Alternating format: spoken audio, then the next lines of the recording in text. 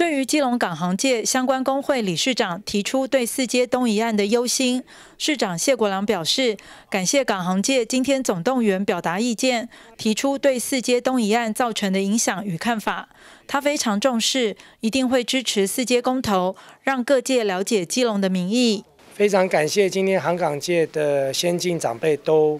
过来市政府拜访，表达他们对于四街可能对于航港圈。啊的一个产业影响的问题，那市政府也非常的关心，然后市民朋友非常关心，那我们会听取航港界的先进给我们的意见，啊，虽然我们之前也都有讨论过，那我觉得现在有两块，就是说，呃，世界的发展不能够去影响到航港跟基隆市的经济命脉，因为大家都知道航港界他们所带来的这些就业跟业务。对于基隆市民，对于整个基隆市的产业经济，都是最重要的一个产业的一个命脉。所以，我们在这个部分会听从航港界给我们的建议。针对于四街，我们依然表达说，人民是有权利公投的，而且市政府也会针对环保跟安全的问题会详加审查。那我们会跟这个航港界的朋友好好一起来讨论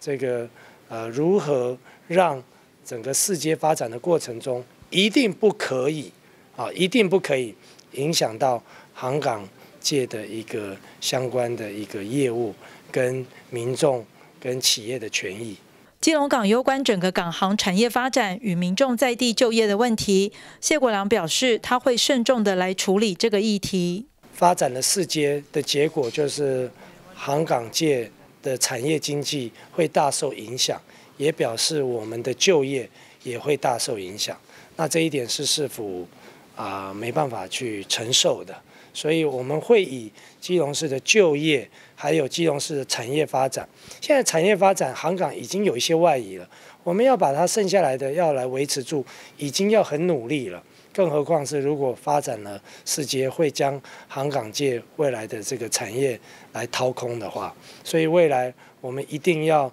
努力维持住我们的产业命脉，那今天就是来讨论这个这方面的议题。那我们也会最认真的态度去看待航港界给我们的建议。那我们会好好针对世界这个议题跟政策，做基隆市府该做的事。期待中央与地方能够运用智慧，以人民的福祉为基础，就经济发展与用电需求，运用智慧来做出一个最好的决定。记者黄日升、陈淑平基隆报道。